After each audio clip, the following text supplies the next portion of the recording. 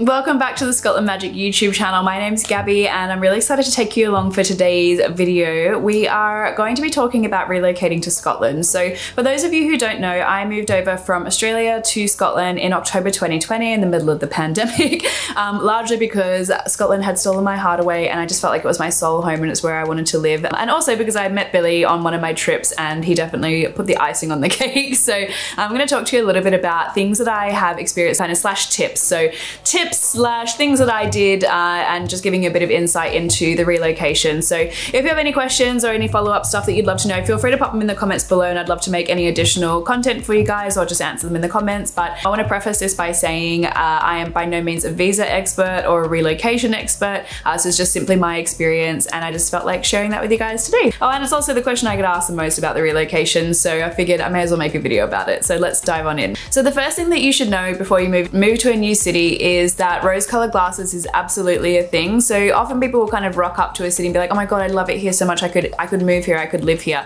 And that's partly maybe because you're on holiday and you're kind of feeling like your best version of yourself and you're just vibing. Um, but it can also be because you've genuinely fallen, genuinely fallen in love with a place. So for a bit of context, I arrived in Scotland on the eve of my 27th birthday, recently single, had never desired to visit Scotland ever in my life. It just wasn't for me. Or not for, not for me, I just didn't really know enough about it to know how fucking fabulous it would be. but my sister's boyfriend's Scottish and he really recommended I come and visit at the end of a trip that I had already booked. I had a few days spare, so he's like, why don't you check out Scotland and the Highlands? So I did that and got here on the evening of my 27th birthday and literally immediately fell in love with the city. But I did kind of worry maybe it is just rose colored glasses. It's a beautiful city. It's a beautiful country. Surely everyone feels this way when they arrive. Before I started to sort out a visa to relocate here, um, I decided to come over for a six month trip and just kind of work and live and just kind of explore the UK and make sure that it wasn't rose colored glasses when I got to Edinburgh. So I spent the first couple of months exploring the rest of the UK and then came over to Edinburgh, sublet a flat for a couple of months just to make sure that living in the city felt like how it felt to visit the city. So if you are considering living in Scotland or anywhere else in the world, I would really recommend spending at least a couple of weeks to a couple of months just temporary living in that city just to make sure that actual day-to-day -day life is enjoyable for you and something that you want to do rather than just the holiday version of yourself because they are two very different people.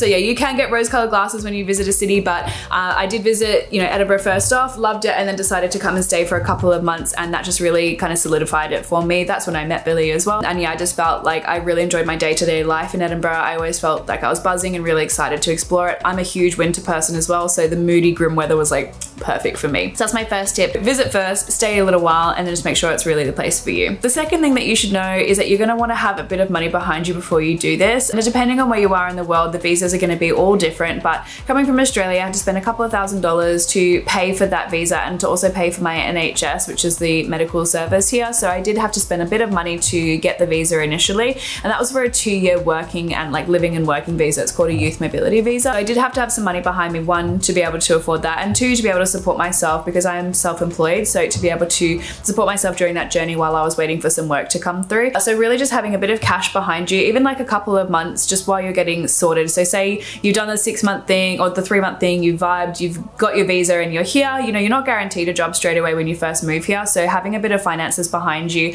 one, to just wait for a job to come through and two, to enjoy yourself when you first get here. I always recommend when people relocate to go and enjoy the city, join some clubs and groups or sporting things or go dancing or join a craft club and go to events and meet people and spend money, go to restaurants, you know. You're gonna have to also set up your space as well when you move into a new flat, so buying new bed linen and just little things that help you feel it at home. So having a good amount of cash behind you before you do this is gonna make you feel so much more at peace and at ease when you get to the city. The third thing that you should know is that when you relocate, you're gonna get regular decision fatigue. So something that I really just did not anticipate when I moved here was how often I would get so frustrated trying to figure out the really basic things that I was so used to doing in Australia. Things like how do I do my taxes here? How do I pay for car insurance because we got a car as well here? You know, how do I sort out my car insurance? How do I change my Australian license to a British license, which you don't have to do immediately, FYI, we just had to do it because we've lived here for longer now. Um, you know, just little things over and over that were so kind of common or things that I just knew how to do in Australia. Or I had my family there, so like my mum and dad could tell me how to do these things, or I had an accountant, or I had,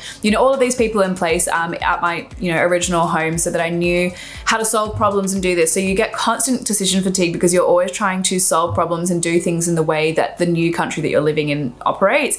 And even just little things like where do I get my hair done? Where do I go to the dentist? I love to get my nails done. Where do I do that? Is that a thing? You know, what time are places open till? What time do they open in the morning? Like just little constant decisions that you have to make constantly or constant things that you have to be aware of all of the time um, can get very, very tiring and get worn out very, very quickly. So just know that if you can try and find some like support quite early on, like if you've got friends here and they've got parents here, like you kind of adopt their family as well to help you answer some of these questions. I've definitely found so much help in my friends and their parents being able to answer things like tax and cars and all of this kind of stuff when I moved here.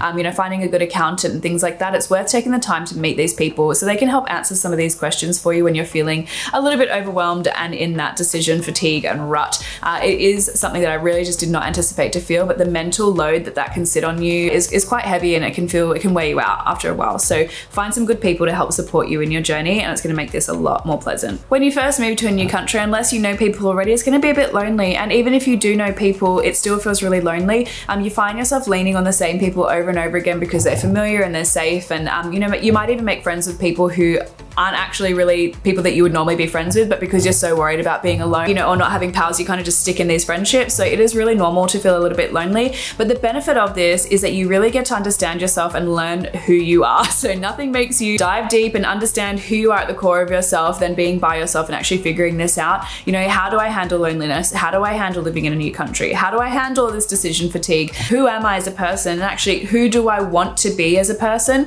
I found this extremely liberating and anyone I've spoken to has who has moved overseas, I find this as a common denominator between them is who they were prior to them relocating versus who they are now are two very different people. Uh, you really get to mold yourself and be exactly who you want to be when you move to a new country and that's incredible. It's incredibly powerful. And you can't do that when you're living in your hometown because people have stories and memories about you, their own expectations, their own ideas. When you meet new people and when you move to a new city, it's like a blank canvas and you get to be exactly who you want to be. So that is one benefit of being a little bit lonely when you move somewhere is the opportunity to mold yourself into exactly who you want to be. Um, but I will say that if you're wanting to make new friends when you're moving to a city, that joining into Facebook groups in the hobbies and things that you really love to do is a great way to start. As I said, if you're into dancing, take yourself to dance classes and book to a, like a full-term course. Or if you are someone who's into craft, there's craft clubs and things. And you know, there's always like a pocket of people in your niche everywhere that you go. So try and find the things that you like doing and then find a club for it or find a group that does that. If you're moving to Scotland, FYI, little, I'm gonna just throw this in there.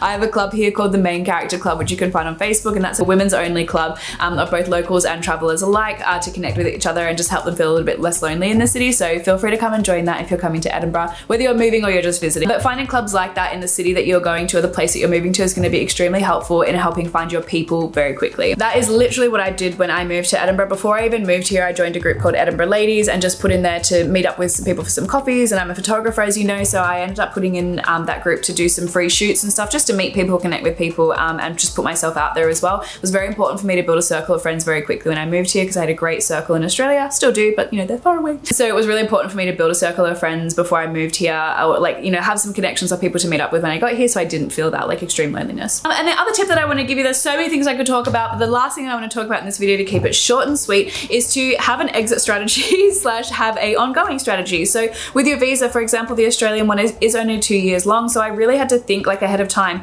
if I love this place enough to live here longer than two years, what is my plan? What am I going to do next? Uh, luckily for me, Billy and I were in a relationship before I started my visa. So we were able to go down the spouse and partnership route, which um, FYI again costs a bit of money to do that and is a huge faff, especially because we're both self-employed. So, oh my God, Lord help us. But if you are wanting to extend and live here a little bit longer, you need to have a look down those routes nice and early so that you can start to prepare some paperwork. So I knew from friends who had lived here and stuff that that was a thing. So we started preparing our paperwork like months before I even moved here, got our names on joint bills and all that kind of stuff so that we had enough behind us to get that sorted. So either having an exit strategy on how you're gonna leave and how you're gonna integrate back home or how you're gonna plan on staying longer in that country. Thank you so much for joining today's video. I hope that's been insightful and helpful for you. If you have any other questions, feel free to pop them in the comments, um, but make sure you like, subscribe and follow uh, so that you can join in for the next set of our educational series here on Scotland Magic. Thank you so much for watching.